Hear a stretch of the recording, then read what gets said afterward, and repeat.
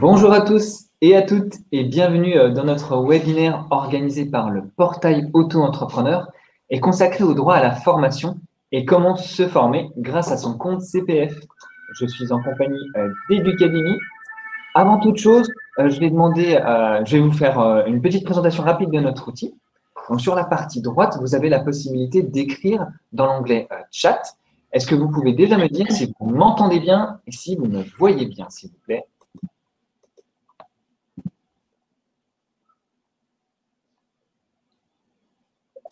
Véronique écrit. Elodie, bonjour, oui, Véronique, tout est OK, super. Cathy également. On a déjà bonjour euh, à toutes pour l'instant. Parfait, nous dit Sylvie. On va attendre quelques instants que davantage de personnes se connectent. Bonjour Clotilde. Mathieu également. Merci Mathieu.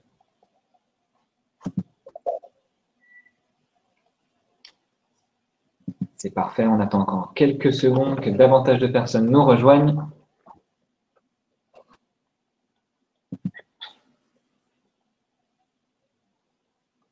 Donc pour les personnes qui connaissent déjà euh, cet outil, vous avez donc la partie chat. Vous aurez également une partie euh, juste à côté euh, sondage dans lequel on va vous poser des questions et je vous inviterai à y répondre.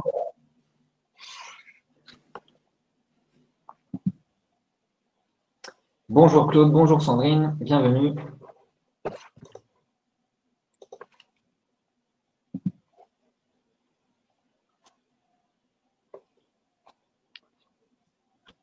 On va attaquer à 11h02 tout pile. Encore quelques secondes pour les derniers retardataires.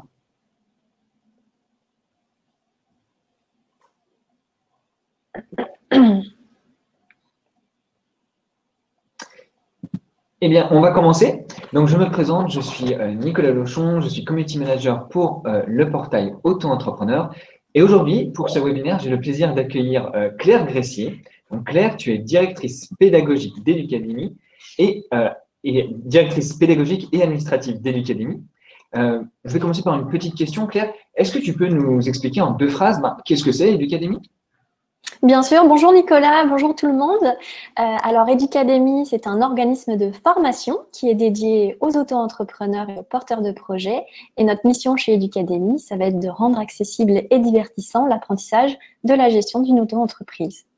D'accord, ben, merci pour cette rapide introduction Claire. On aura euh, le temps de rentrer davantage dans les détails d'Educademy un peu plus tard. Et là, on vous présente du coup notre programme pour ce webinaire. Donc, nous allons revoir ensemble bien, euh, le CPF, la thématique principale du webinaire. Nous allons nous intéresser à l'actualité chaude du moment avec le DIF notamment. Et enfin, on terminera par la présentation d'Educademy.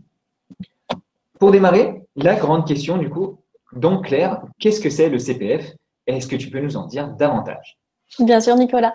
Alors, le CPF, c'est un dispositif qui est mis en place par l'État et qui permet à toute personne exerçant une activité professionnelle en France de disposer de crédits d'euros pour financer des formations professionnelles. Alors, il faut le voir un petit peu comme une sorte de cagnotte dans laquelle vous allez cumuler des droits à la formation pendant toute votre carrière professionnelle.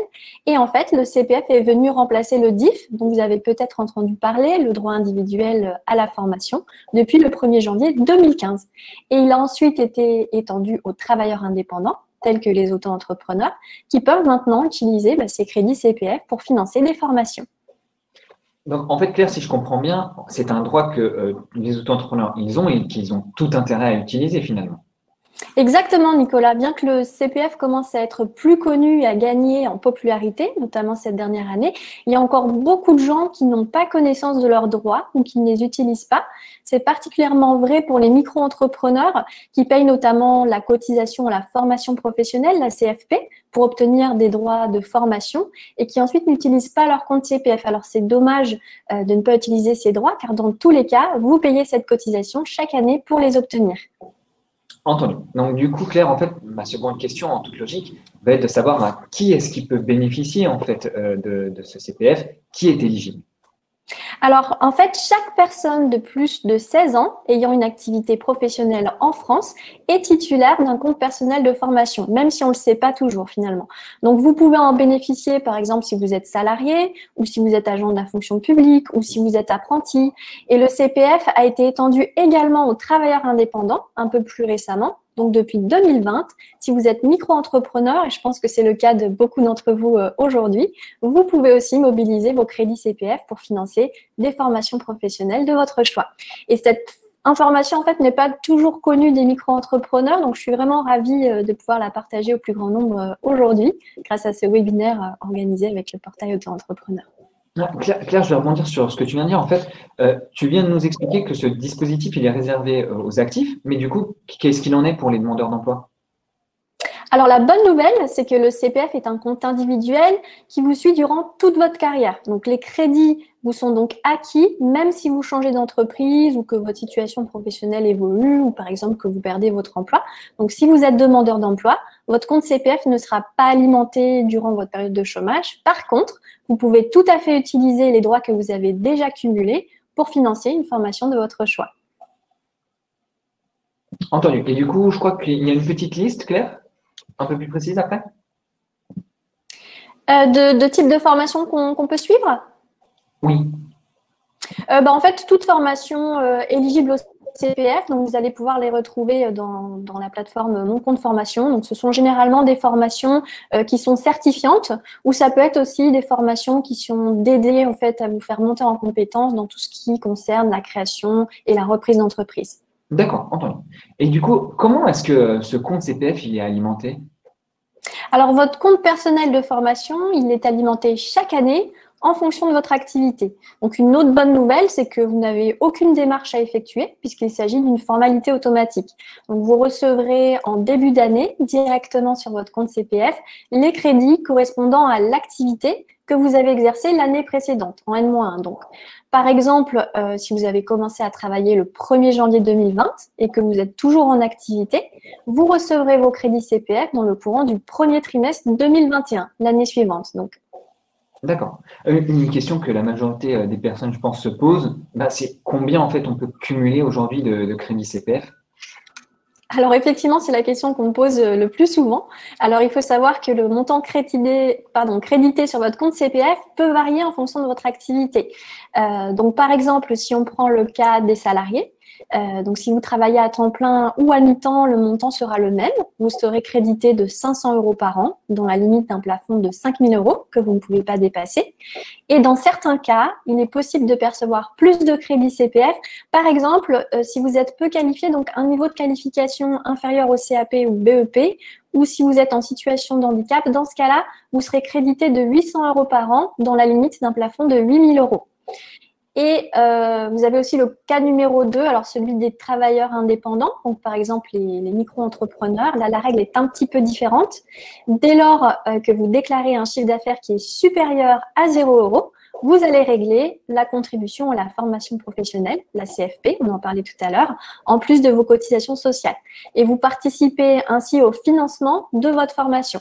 Donc, vous devez obligatoirement être à jour du paiement de cette cotisation pour pouvoir bénéficier euh, de droits CPF. Et si vous respectez cette condition, c'est comme les salariés, vous serez crédité de 500 euros par an et votre compte CPF ne peut excéder 5000 euros. D'accord. Et comment en fait euh, on fait, comment ça fonctionne pour les micro-entrepreneurs? Qui viennent tout juste de créer leur auto-entreprise et qui ont débuté euh, leur activité en cours d'année, Claire alors, c'est une très bonne question, Nicolas. J'imagine que c'est le cas de plusieurs euh, d'entre vous aujourd'hui.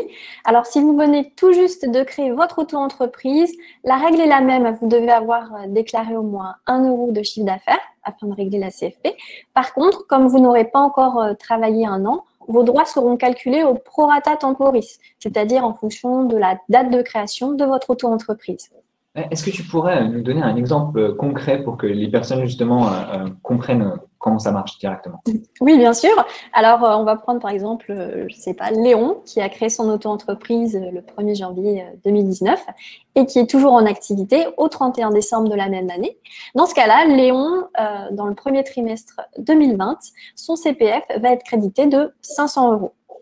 je vais prendre un exemple numéro 2. Donc, par exemple, on va dire Léonore, euh, qui a attendu un petit peu plus longtemps et qui a ouvert son auto-entreprise qu'en novembre 2020, elle devra attendre, dans ce cas, euh, le premier trimestre 2021 pour toucher ses droits CPF. D'accord, ben, merci pour les exemples, c'est un peu plus clair. Euh, la question suivante, bien sûr, c'est de savoir ben, comment est-ce qu'on peut utiliser sa cagnotte? Alors, il y a quatre étapes euh, simples à suivre pour utiliser euh, votre cagnotte. L'étape numéro un, si vous ne l'avez pas déjà fait, vous devez tout d'abord créer votre compte CPF. Donc, cette démarche est indispensable en fait pour connaître euh, le montant de vos droits. Alors, je vous rassure tout de suite, ça ne prend que quelques minutes. Vous allez simplement avoir besoin de votre numéro de sécurité sociale et puis de vos identifiants Amélie.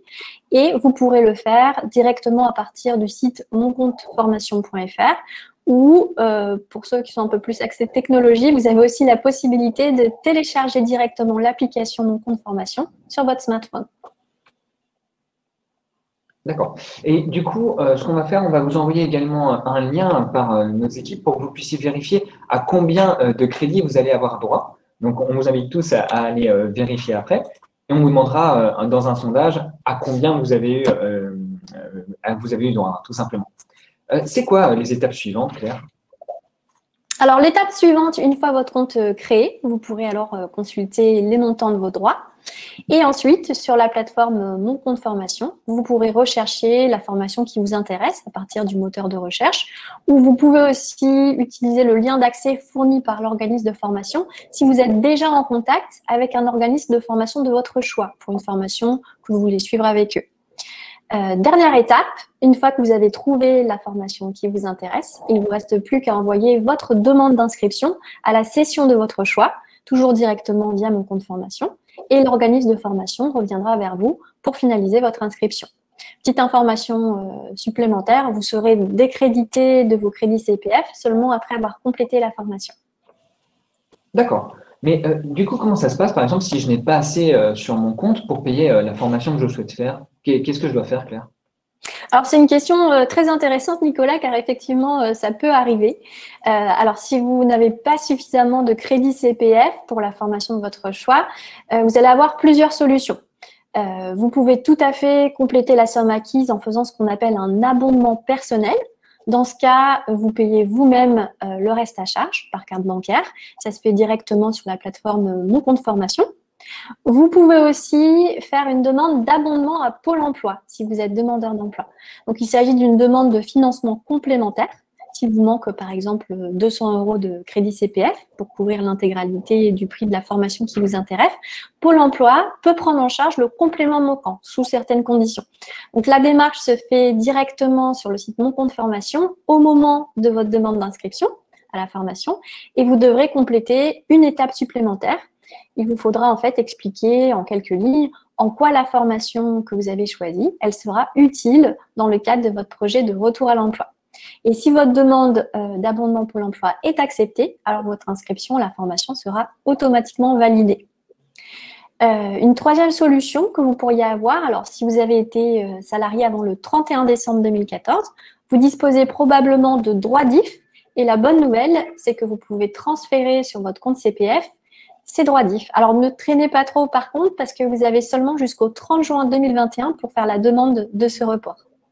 Et justement, euh, Claire, c'est euh, ce qu'on entend euh, parler en ce moment, justement, c'est l'actualité, car les droits DIF vont prendre fin au 30 juin, comme tu l'as annoncé en début de webinaire. Tout à fait. Est-ce que tu pourrais nous expliquer un petit peu plus, du coup, qu'est-ce que le DIF et comment en fait faire pour transférer ses droits sur son compte CPF Bien sûr.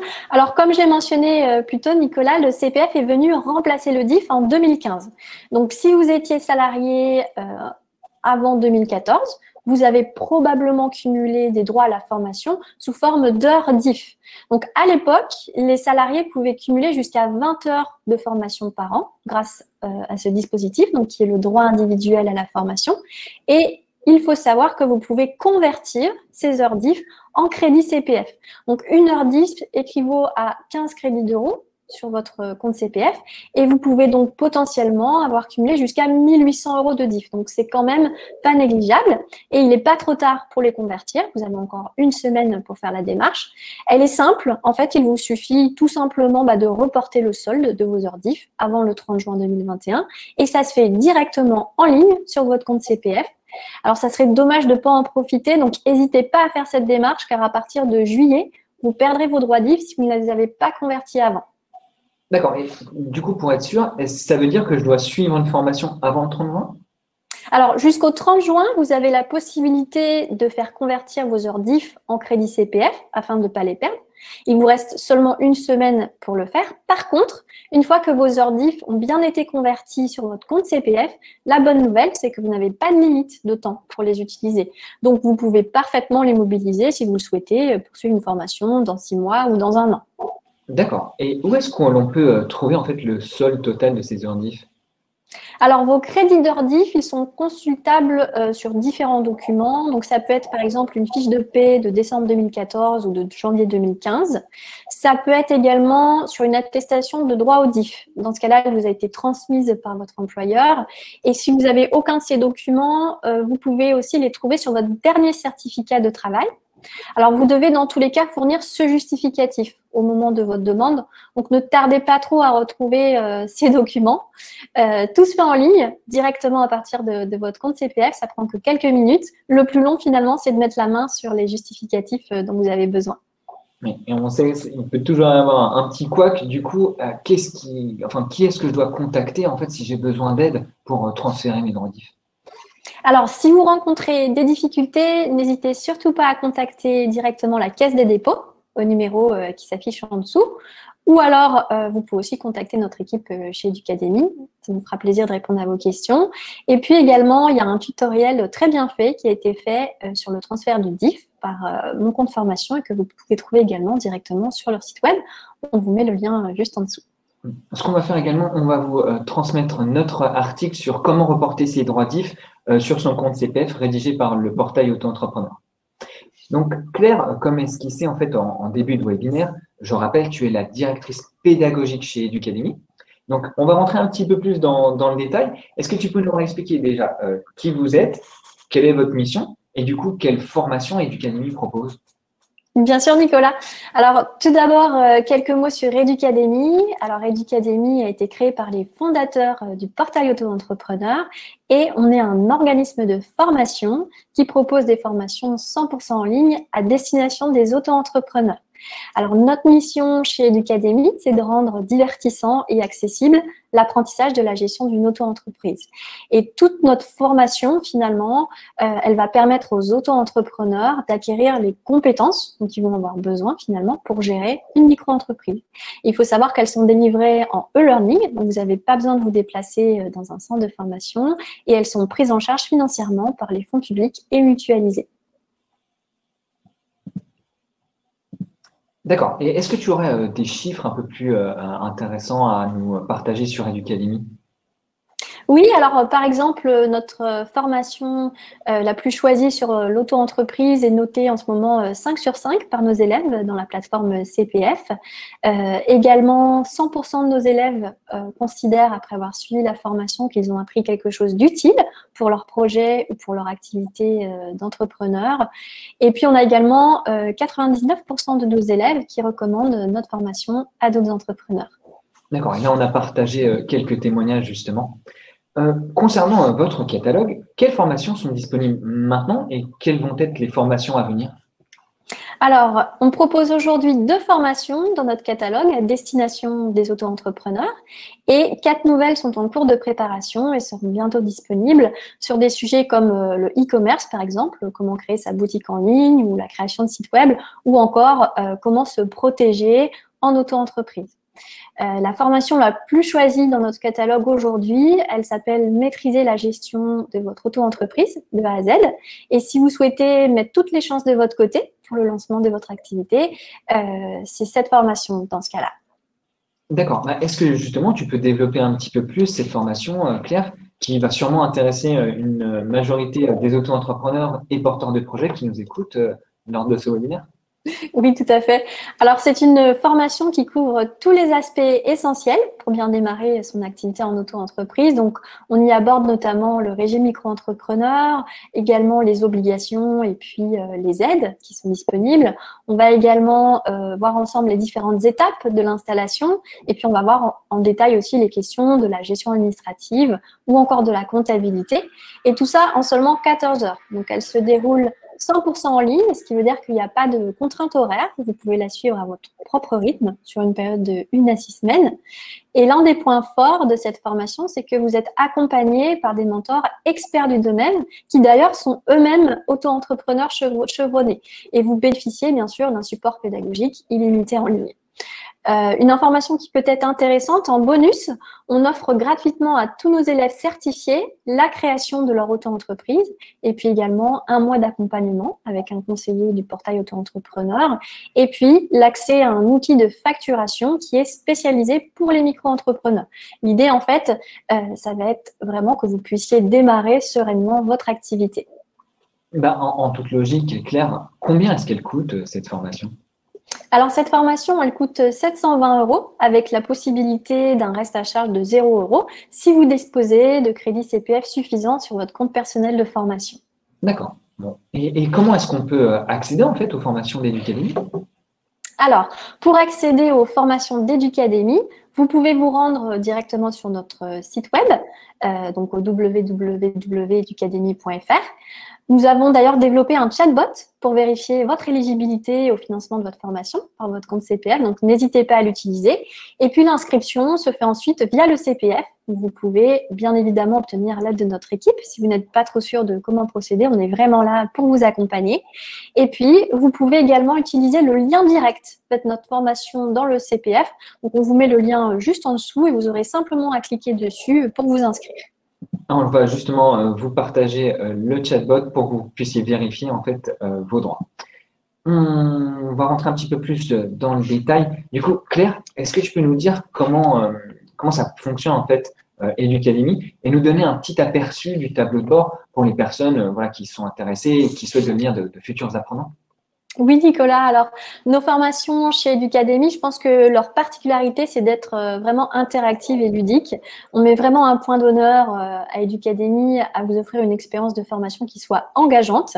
Euh, donc, on propose un apprentissage qui est varié. On va faire alterner des notions de cours, mais aussi des cas pratiques, des tutoriels, par exemple, pour vous apprendre à faire vos déclarations.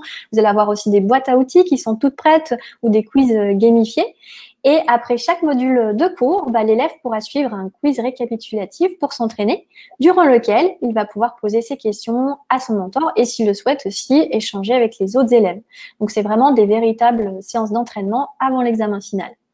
D'accord. Donc en fait, c'est un, on va dire, ça se présente sous forme de jeu, mais c'est quand même extrêmement euh, structuré et organisé. Donc les personnes peuvent suivre au fur et à mesure où ils en sont. Exactement, c'est très structuré et l'avantage c'est que vous pouvez le suivre à votre propre rythme. Euh, voilà, et les petits jeux, ils sont euh, donc c'est pas du jeu tout le temps, mais effectivement, euh, il y a pas mal de petits cas pratiques et de petits quiz gamifiés pour rendre l'expérience d'autant plus engageante.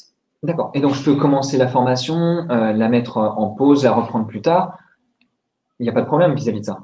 Tout à fait. Nous, ce qu'on va conseiller, c'est de suivre entre 1 à 2 modules euh, par semaine. Donc, ça représente à peu près 2 euh, à 4 heures de travail euh, par semaine. Mais après, vous êtes parfaitement libre de choisir le rythme qui vous convient à vous. D'accord. Et du coup, bah, combien de temps, en fait, est-ce que les élèves ont accès au contenu d'Educademy alors, vous pourrez accéder à la plateforme de formation pendant six semaines. On vous remet également un passeport auto-entrepreneur que vous pourrez conserver après la formation. Donc, en fait, c'est un petit livret dans lequel vous retrouverez toutes les informations indispensables pour gérer votre auto-entreprise euh, avec succès. Et puis, c'est un petit livret qui est personnalisable. Donc, vous pourrez le compléter avec vos informations personnelles et puis celles de votre auto-entreprise. D'accord. Eh ben, merci euh, Claire. On espère en tout cas que cela va inciter davantage les auto-entrepreneurs à utiliser euh, leur compte CPF et euh, en plus pour des formations qui vont leur être utiles hein, au quotidien euh, dans la gestion de leur activité d'auto-entrepreneur. D'ailleurs, ce que je vous propose, on va regarder les résultats de notre sondage dans lequel nous vous demandions à combien s'élevait le montant total de votre crédit CPF via le lien qu'on vous a transmis. On regarde ensemble.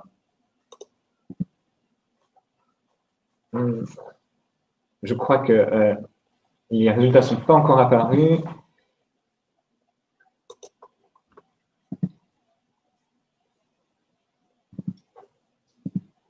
Le temps, le temps que le sondage arrive, ce que je vous propose, on va passer à une première question. Euh, du coup, je vous propose, euh, comme première question, on a reçu une demande concernant euh, le SPI, comprendre quelle est la différence entre le SPI et ben, les formations éducatives. Est-ce que tu peux nous en dire davantage, Claire? Oui, alors le, SPI, euh, c'est le stage préparatoire à l'installation, donc qui est organisé par les chambres des métiers. Donc euh, cette formation est plutôt destinée aux artisans euh, de tout type d'entrepreneurs confondus, donc également des gérants de société. Donc c'est une formation qui est généraliste et qui est assez peu ciblée sur la micro-entreprise. Tandis que les formations d'Educademy sont vraiment 100% personnalisées pour les micro-entrepreneurs et viennent vraiment répondre à leurs besoins spécifiques. une autre différence, ça pourrait être aussi le côté euh, ludique et interactif euh, qui est vraiment propre à Educademy. Oui, en plus, c'est vrai que c'est important, je suis en train de, penser. On, dit, je crois, qu'au bout de six mois, il y a 50% des auto-entreprises euh, qui, arrêtent, en fait, que les, auto-entrepreneurs cessent leur activité d'auto-entrepreneur parce que justement, il manquait un petit peu de, matière au lancement. Il y avait la passion, mais il y a aussi toute la gestion à prendre en compte. Du coup, les formations du vont permettre de répondre à ça. Tout à fait. Alors, c'est un des grands défis, effectivement, des micro-entrepreneurs. Donc, généralement, euh, après trois ans, en fait, il y a une grande majorité euh, d'auto-entrepreneurs. Euh, donc, il y a un peu de difficulté à passer sur la quatrième année. Donc, c'est un petit peu là que se situe le, cap. Et nous, notre formation, en fait, elle va vraiment permettre d'avoir toutes les bases dont on va avoir besoin pour gérer avec succès sa micro-entreprise. voilà, et notamment au niveau du lancement, en, en regardant ensemble toutes les étapes de l'installation et comment procéder. D'accord.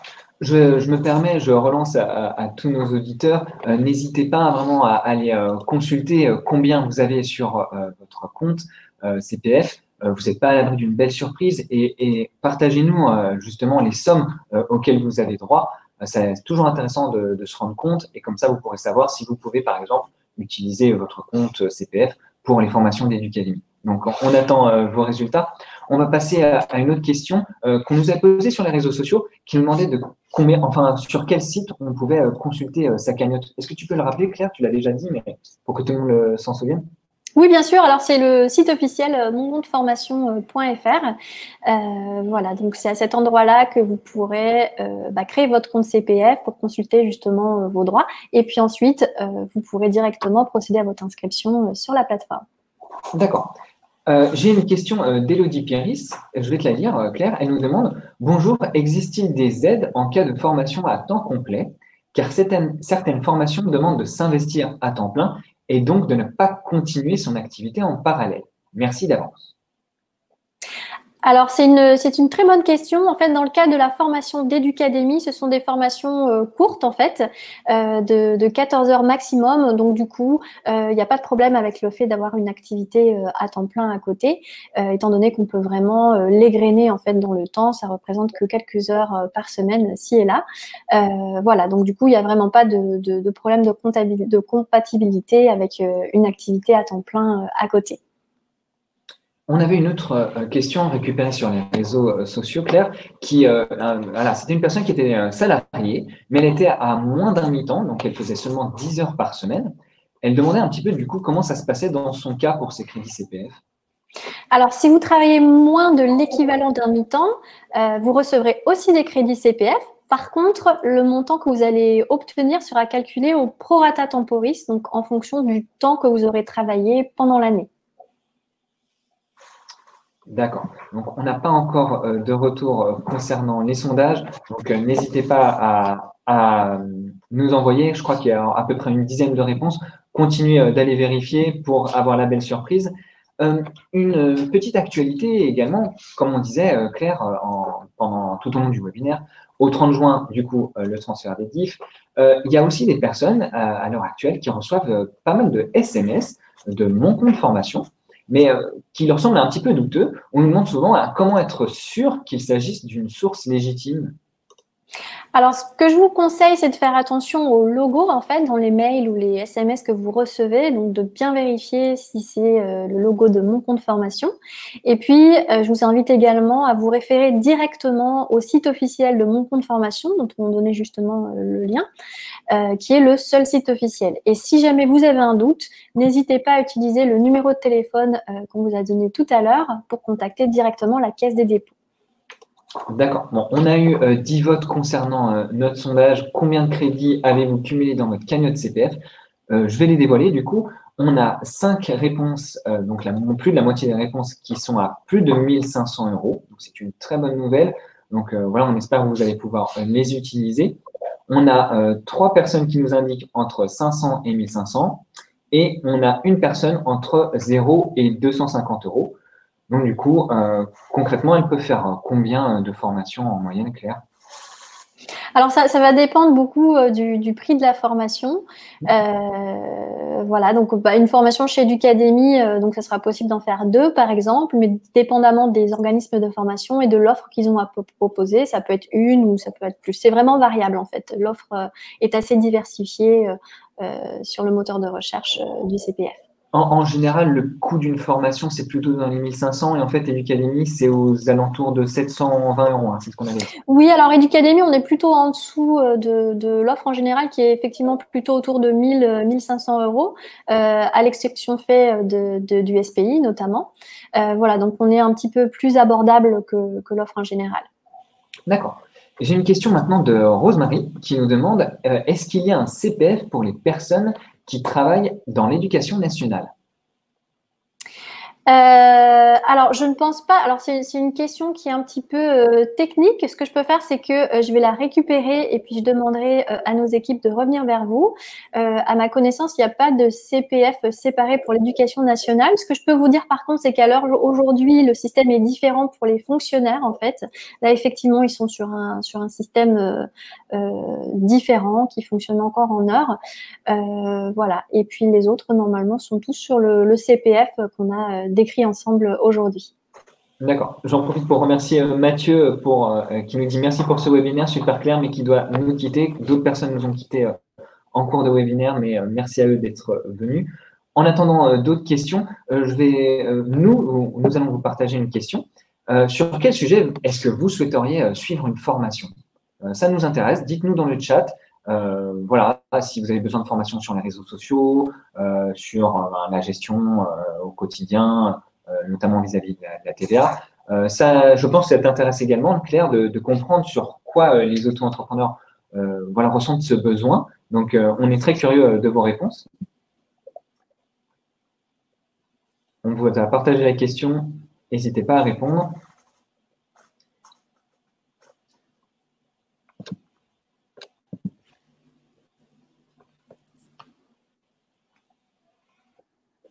On, va peut-être répéter justement euh, quelle est la prochaine formation euh, qui va être lancée euh, par Educademy, Claire? Alors, parmi les prochaines formations qui vont être lancées par Educademy, il va y avoir notamment des formations sur comment créer sa, boutique en ligne, donc du e-commerce. et puis également une formation qui va être, je pense, très intéressante, qui va arriver cette année. C'est une formation sur comment se protéger en micro-entreprise. D'accord. Alors, j'ai déjà une réponse de euh, Magic qui nous dit la gestion des factures, la RGPD, justement, euh, ça tombe bien, euh, les mentions légales et les CGD. Est-ce que, est que ça, ça fait partie de la formation, du coup, comment se protéger également? Exactement. Alors, tous ces sujets, ce sont des sujets qu'on va traiter dans cette nouvelle formation qui arrive bientôt sur comment se protéger en auto-entreprise. Et effectivement, ça passe notamment par la mise en place de, CGV, de conditions générales de vente. voilà, donc ces, sujets seront abordés dans la formation. Tout à fait, Nicolas. Parfait. Ah, j'ai Sylvie aussi qui fait remonter quelque chose de, super euh, intéressant. Elle demande une formation pour le SEO, justement pour les boutiques, les boutiques en ligne. Alors, ça en fait partie également parce que, bien évidemment, dans une formation, quand on explique un petit peu comment prendre en main Shopify, par exemple, et créer euh, sa, boutique en ligne, euh, pour que cette boutique fonctionne, forcément, il faut maîtriser un petit peu aussi les, techniques de référencement et voir un petit peu comment est-ce qu'on peut faire venir des clients dans cette boutique. Donc, ce sont également des notions qu'on va aborder. D'accord. On va attendre quelques instants s'il y a encore d'autres questions. on a répondu à Madji, on a répondu à Sylvie. N'hésitez pas, hein, si vous avez des questions, il y a encore le sondage euh, qui, qui, tourne si vous souhaitez y répondre. On va attendre encore quelques instants.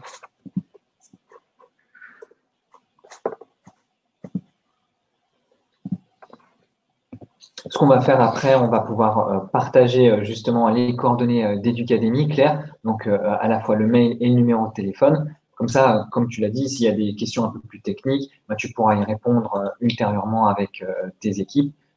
donc, pas de souci. Continuez de nous envoyer vos questions. Ah,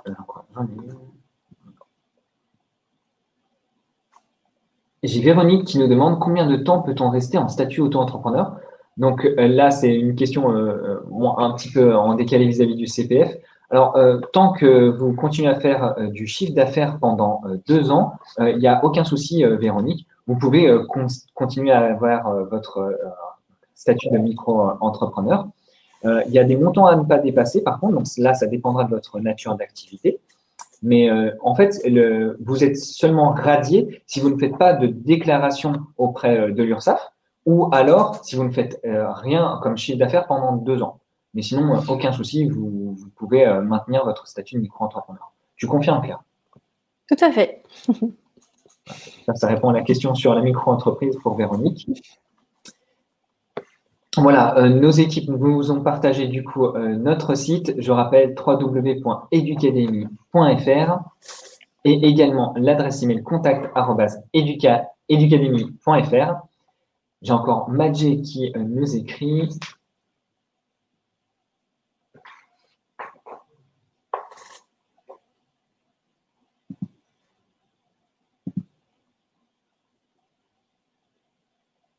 on vous a mis du coup le numéro de téléphone également si vous souhaitez contacter les équipes d'Educademy.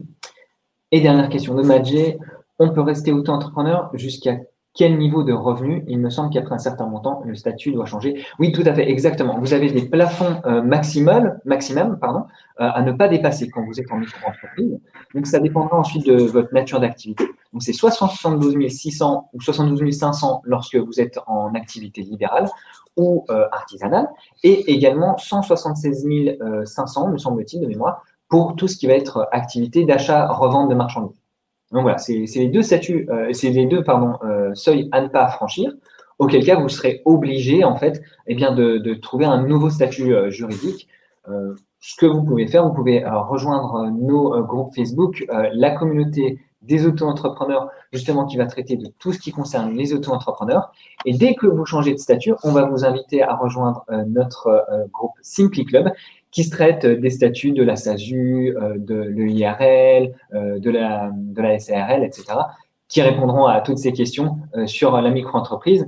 Et si vous avez des questions euh, de manière générale pour euh, votre micro-entreprise, eh ben, n'hésitez pas à contacter les équipes du portail auto-entrepreneur. Donc, que je rappelle, hein, euh, de concert avec Academy pour vous proposer ces formations.